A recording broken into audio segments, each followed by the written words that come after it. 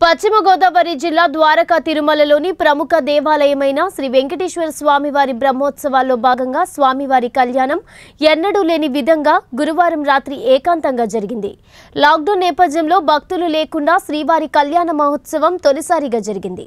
ముందుగా శ్రీవారి సన్నిధిలో ప్రత్యేకంగా అలంకరించిన వేదికపై స్వామి అమ్మవార్ల కళ్యాణమూర్తులను ఉంచి ఆలయ అర్చకులు ప్రత్యేక పుష్పాలంకరణ చేశారు.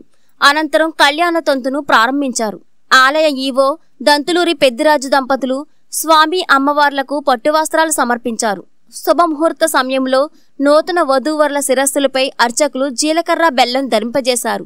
అనంతరం అర్చకుల వేద మంత్రోచ్చారణల నడుమ మాంగళ్యధారణ తలంబ్రాల కార్యక్రమం జరిగింది. వైకానస ఆగమ రీతిలో ఈ కళ్యాణ తంతును ఆలయ అర్చకులు శాస్త్రోత్కంగా నిర్వహించారు.